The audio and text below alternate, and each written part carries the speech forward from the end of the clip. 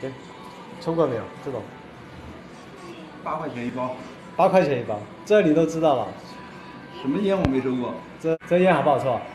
可以啊，可以啊。媲美小中华，叫什么？号称小中华。号称小中华。这个烟号称小中华，是吧？这你很熟悉啊，你以前是不是经常抽这个啊？嗯。是不是？那现在不抽了吧？为什么不抽了？啊？现在为什么这种烟不抽了？怎么说呢？就是不是，其实这烟抽的还挺可以，就是在外面遇人的时候，感觉档次低了一点点。就是说摆不上桌面嘛。嗯。拿不出手嘛。对。最主要是价格方面嘛。嗯。是吧？你要说这这烟现在一般卖二三十块的话，你绝对还是抽这个的。对。是不是？嗯那意思是说，你现在抽烟的话，还是注重价格？肯定。会不会？自己抽无所谓，但是在外面就要遇人遇事的时候，你肯定要注重一个价格。哦，就是说自己抽无所谓，但是在外面的话，一定要抽价格稍微高一些的，是吧？没事啊，来，行了，这个。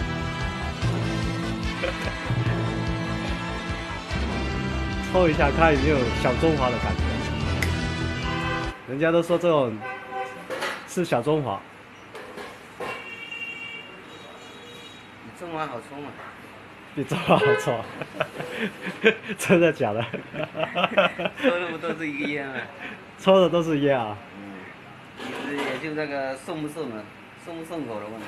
顺不顺口的问题啊。大家好，我是小海，今天为大家带来一款老牌香烟——红双喜。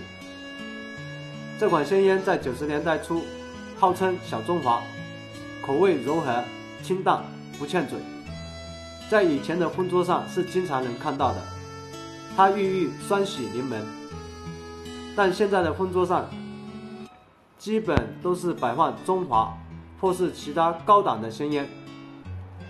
烟的档次是变高了，但是人情味却变少了。还有一款新版的这种红双喜。二十块钱，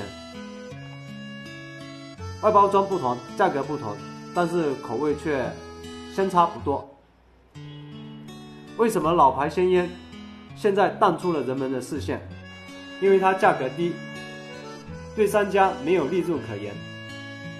还有就是我们现代人抽烟基本是抽价格，出门环友，你会带几块钱的香烟，还是会带一包上档次的香烟？要是我的话，我也会带一包比较有档次的香烟出去，可以充门面。还有就是对朋友的尊重。在九十年代初，人们的生活水平基本上只能是解决温饱，香烟对人们来说是一种奢侈品，所以那时的人们对香烟是没有什么要求。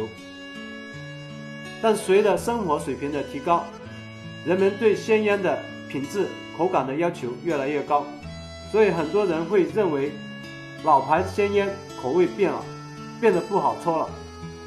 其实老牌香烟口味没变，变的是我们。好，今天的视频就到这里。